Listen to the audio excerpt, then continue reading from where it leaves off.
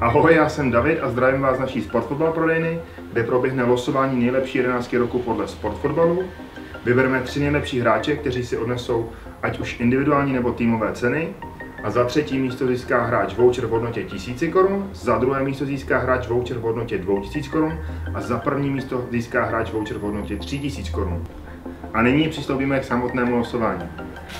Třetí místo získává